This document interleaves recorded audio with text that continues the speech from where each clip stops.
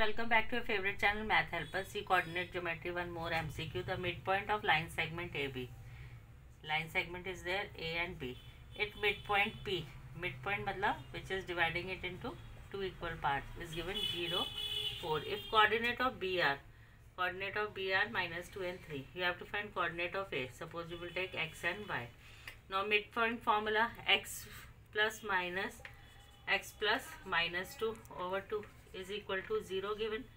Now x plus minus is minus. x minus 2 is 0 into 2 is 0. So x will come 2. So x coordinate of A will come 2. y coordinate y plus this 3 over 2 is equal to 4. y plus 3 is equal to 4 into 2 8. y will come 8 minus 3 that is 5. So y coordinate of A will come 5. So coordinate of A will be 2 and 5. So A option you will take Thank you.